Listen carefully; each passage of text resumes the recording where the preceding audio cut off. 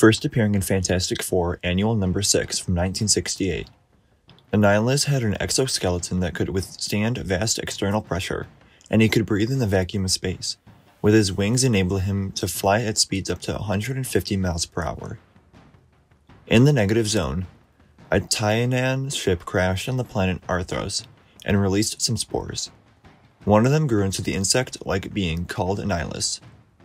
Wielding the cosmic control rod, he became the master of life forms that grew from the other spores, and he set out to conquer the other worlds of the negative zone. The Fantastic Four regularly stymied his attempts to conquer Earth and the microverse.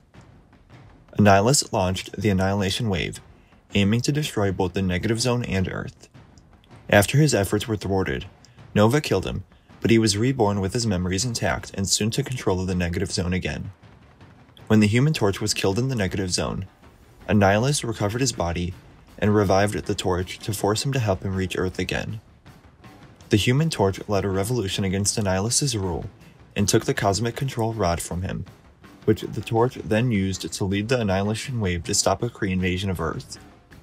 When the Human Torch allowed free elections in the negative zone, Annihilus won the leadership once more by landslide.